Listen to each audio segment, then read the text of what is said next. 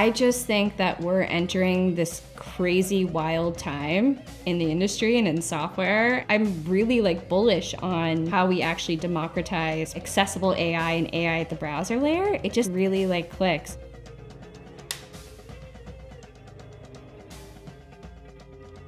Did you think when you wrote the salad doc that you would be here talking about the salads? Um, no. Uh, my husband said it was dumb. Uh, Well, here we are. Skills are a small early feature we released in Dia this week, and we started with writing and coding. Not everyone is a prompting expert, and Skills take the internet things you do every single day and packages them up into best in class AI prompts for the internet. They're personalized recipes that take everyday AI use cases and make them easy for just about anyone to do.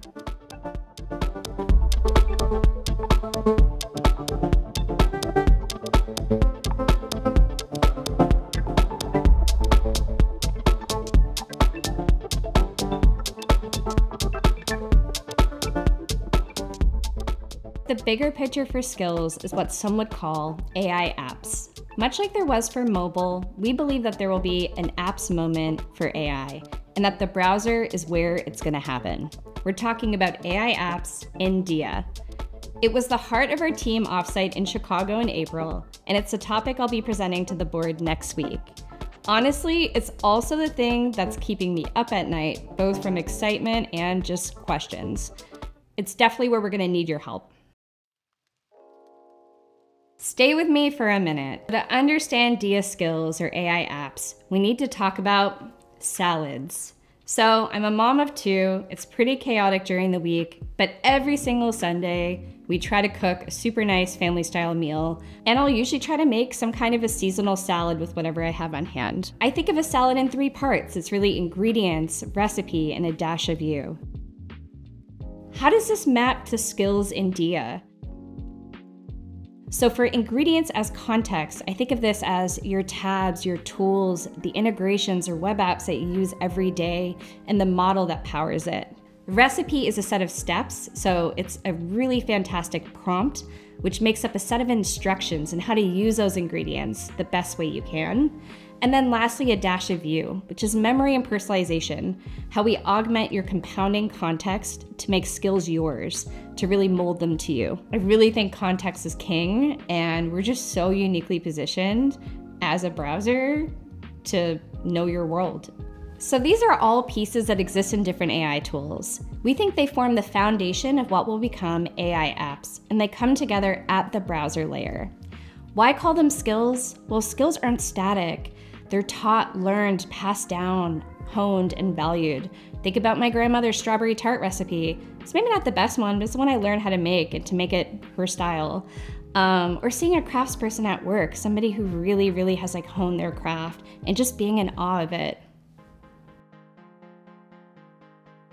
So today the ingredients are just tabs and the steps are honestly pretty basic.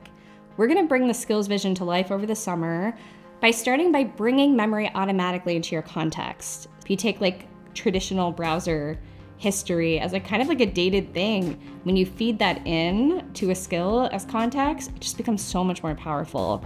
And that idea is really, really like infectious to me. With Dia, literally every single tab we open it's just like the equivalent of like a TikTok swipe. It's like, oh, now we know this about you. Now we have this context. Now we have this context. Imagine an onboarding skill that comes preloaded with all of your team's context as ingredients. The base that makes up and runs, honestly, everything you do. So I think there's some really interesting things we can do as we start to bring memory automatically and power up ingredients as context.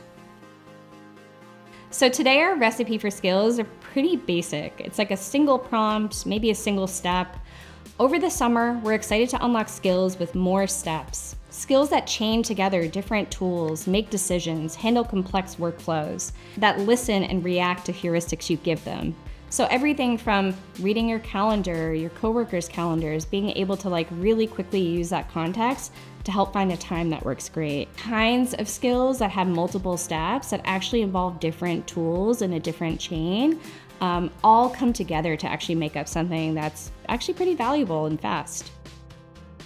All right, and lastly, expanding context integrations. The way you use your tools is live, and we want your integrations to be live too. So things like with YouTube, we automatically, actually in Dia today, scrape the transcript as context and augment our chat skill with timestamps, allowing you to summarize and jump to the parts you care about in videos. With Canvas, we actually support asking questions on Canvas about your courses. So even the PDFs that are photocopied and hard to read, um, as handwritten notes, uh, you can ask to be quizzed back on them, which is pretty awesome. We're going to continue helping you to get the most meaningful context from your tabs so memory ingredients don't feel stale.